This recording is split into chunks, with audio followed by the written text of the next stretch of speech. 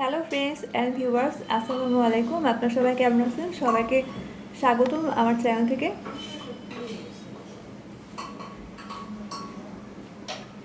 আমি এখন আজকে ব্লগটি শুরু করতে যাচ্ছি। আজকে ওয়েদারটা খুবই ঠান্ডা ঠান্ডা। আপনারা সবাই কে কেমন আছেন? কোথায়? এই ঠান্ডার মধ্যে। আমার তো আজকে খুবই ঠান্ডা লাগতেছে। আমি গোসল করে এসে দেখি যে আমার আম্মুর সব মোটামুটি প্রায় রান্না হয়ে, করে ফেলেছে আমার আর আমার ভাইয়ার জন্য। একটু দেখে আপনাদের সাথে কী কী রান্না, কী কী রান্না করেছে। এই আলু ভাজিটা ছিল মুরগি দিয়ে আলু ভাজিটা আমি খাই। ডালও আছে, ডালও রান্না করেছে। আর রুই মাছ রান্না করেছে। এটা রুই মাছের কারি।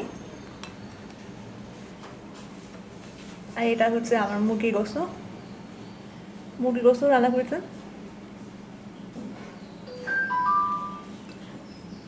আর এখন শুনছি আমার আম্মু নাকি এই মিষ্টি কুমড়ার চচ্চড়ি রান্না করবে। মিষ্টি কুমড়া চচ্চড়ি রান্না করবে শুনেই আমি ভাবলাম যে আপনাদের সাথে একটু শেয়ার করলে কেমন হয়? মিষ্টি কুমড়ার চচ্চড়িটা কীভাবে রান্না করছে? তাহলে আসেন, আপনাদেরকে একটু দেখিয়ে দিই।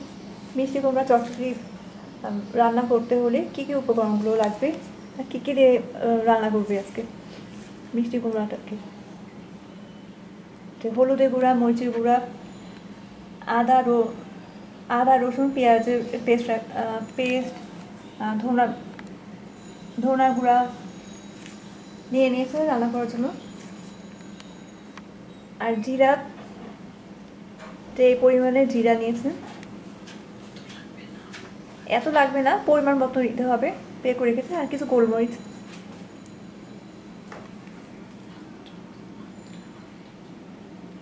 এটা গোলমরিচ নিয়ে নিয়েছে, এত গোলমরিচ লাগবে।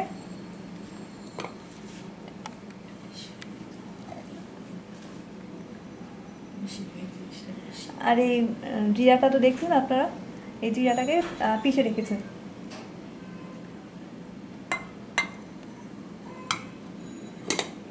তো চলেন, আমার সাথে আপনারাও রান্নাঘরে আসুন।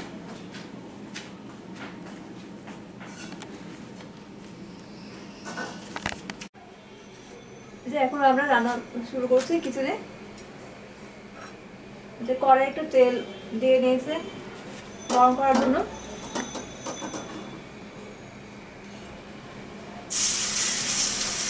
এখন আস্তে সব উপকরণগুলো দিয়ে দিই মশলাগুলো কি দিয়েছে এটা? প্রথমে? মরিচ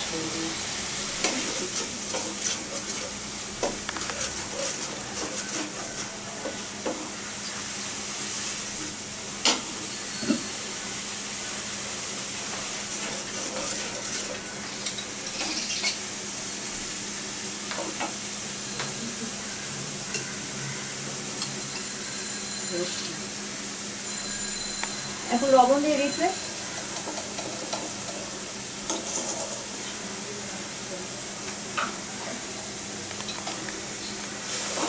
আদা পাতা দিয়ে দিচ্ছে প্রথমে পেঁয়াজের বাটা দিয়েছিলাম আর মরিচের গুঁড়া দিয়েছিলাম, এখন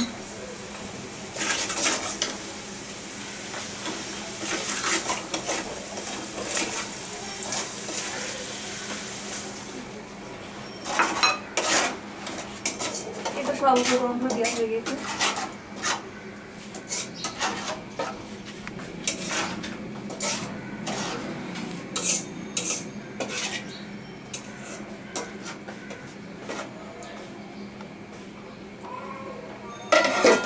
দিয়ে দিলাম মশলাগুলো কষানোর জন্য ঢাকনাটা নিয়েছে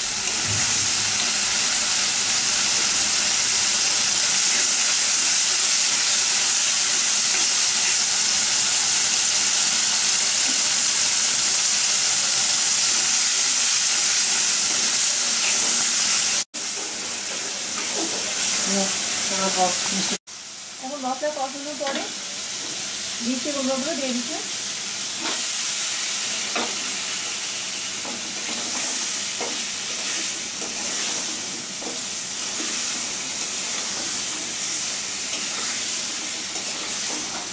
মিষ্টি কুমড়োগুলো থেকে নিয়ে দিচ্ছে।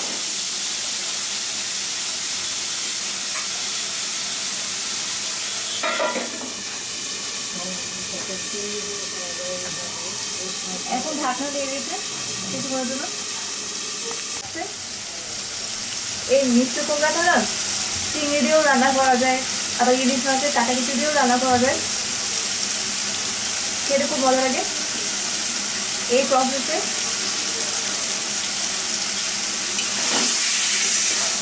আমার তো মিষ্টি কুমড়া চিংড়ি দিয়ে খেতে খুব খুবই ভালো লাগে। কিন্তু অনেকে চিংড়ি মাছে অ্যালার্জি আছে, সবাই চিংড়ি মাছে খেতে পারে না। চুলকানি শ্বাসকষ্টের সমস্যা হয়। আবার যারা বড় গোস্ত মাছ খায় না। তারা শুধু সবজি খায় ভেজিটেরিয়ান যারা।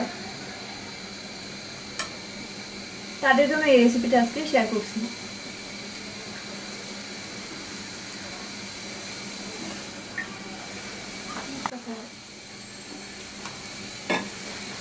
এখন ঢাকনা দিয়ে দিচ্ছি। দুই মিনিটের জন্য।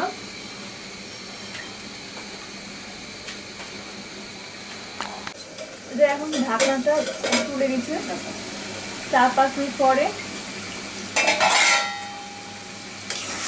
তুলে দিচ্ছে।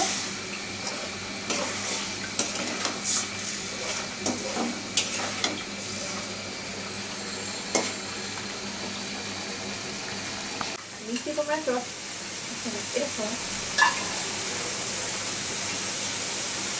মিষ্টি হয়ে আসছে এই পর্যায়ে এটা নামানো কিছুক্ষণ আগে আমার একটু চিনি দিয়ে দিল চিনি দিয়ে চিনি দিলে টেস্টটা একটু অন্যরকম হয় মিষ্টি টেস্টটা আসছে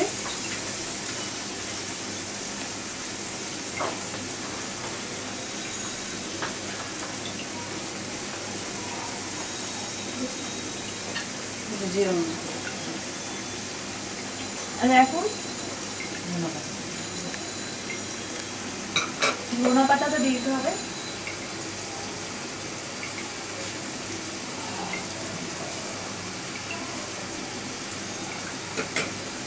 ধনা পাতা দিয়ে দিচ্ছে।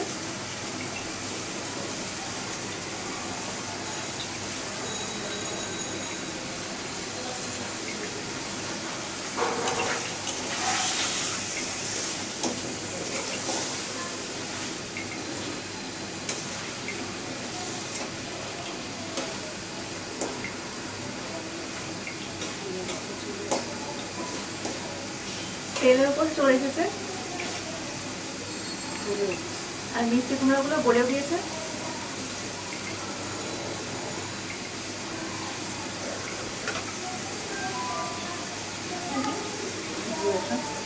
আর এবার জিরার গুঁড়াটা দিয়ে দিল।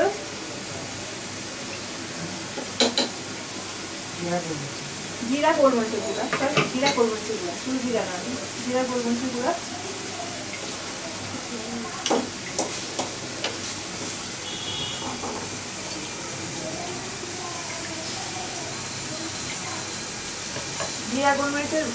দিলে বের হয়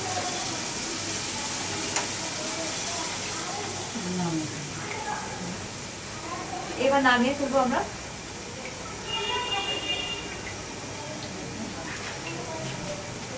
আপনারা যারা খেয়েছেন, তারা জানেন আর যারা আগে কোনোদিন করেন নেই তারা তাদের যদি ভালো লেগে থাকে, তাহলে আপনারা ট্রাই করতে পারেন বাসাতে।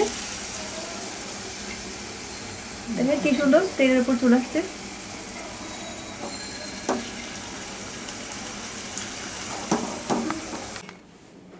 এই যে দেখেন সবাই, আমার মিষ্টি কুমড়ার চচ্চড়িটা হয়ে গিয়েছে, কি সুন্দর লাগছে দেখতে। খেতেও মজা লাগে।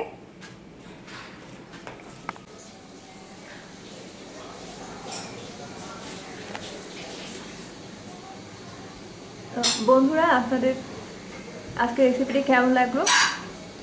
অবশ্যই জানাবেন। আর সেটা জানাতে হলে কমেন্ট বক্সে অবশ্যই আপনারা কমেন্ট করবেন। আর একটু খেয়াল রাখবেন কেন কমেন্টটা যেন স্পাম না হয়। ভিডিওটা সম্পূর্ণ দেখার চেষ্টা করবেন। আর ভিডিওটা দেখার পরে কমেন্টটা দিবেন। নাহলে কমেন্টটা স্পাম হয়ে যাবে।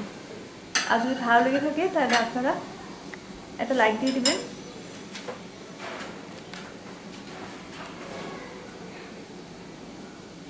আর সুন্দর সুন্দর ব্লগ তৈরি করতে পারি। এর জন্য অবশ্যই আপনারা সাবস্ক্রাইব করতে ভুলবেন না। আর আজকে তো আমি আপনাদেরকে একটা সিম্পল একটা জিনিস দেখালাম, রান্না। ভালো লাগলে বাসায় ট্রাই করে দেখবেন। আর যদি মন চায় তাহলে আপনারা অবশ্যই শেয়ার করবেন।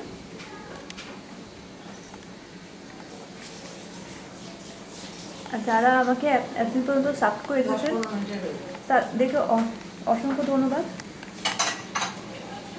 আর এই রেসিপিটি দশ পনেরো মিনিটের মধ্যেই হয়ে যায়।